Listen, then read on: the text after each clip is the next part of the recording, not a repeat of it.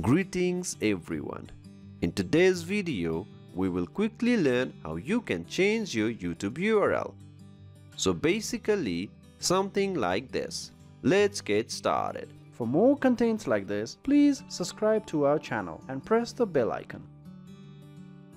Having a simple YouTube URL makes it easy to share your YouTube channel to anyone. For instance, for our channel, you can simply go to youtube.com slash hey let's learn something.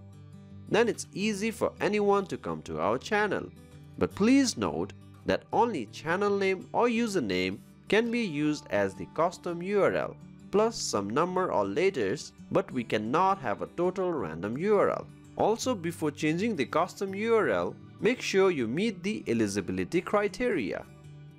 That is, having 100 or more subscribers, be at least 30 days old, have an uploaded profile picture, and have an uploaded banner image. And also note you can only change the channel's name 3 times per year. Reminder, you are only allowed to use your channel's name or previous username as the custom URL with some extra numbers or letters, but you cannot randomly use any URL for your channel. Anyway, so in order to change the YouTube URL, simply go to your YouTube studio, then go to customization, then click on basic info. Here you can add a description to your channel. You can also change the channel name by clicking here. Anyway, so here you can change the channel URL. Since we have already changed the URL name, we can only delete this and change the name as well. But please note, this can only be done 3 times per year. Anyway, let me switch to another channel.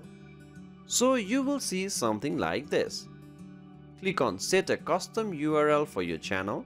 Then YouTube will give you some options to change the channel name. Since the channel name for this YouTube account was changed, you will have the option to use the previous channel username as well or existing channel name. Let me choose the existing channel name. It seems that this name is already claimed, so we cannot use the existing channel name. But we do have the options to add some letters or numbers to make it unique. Again note that we cannot change the complete URL. Instead only add numbers or letters to it. If you absolutely need to change the URL, then the only option is to change the channel name. Anyway, after making all the changes, simply click on publish and you will have a custom URL. I will leave this for now. Hope this video was useful. Thank you very much.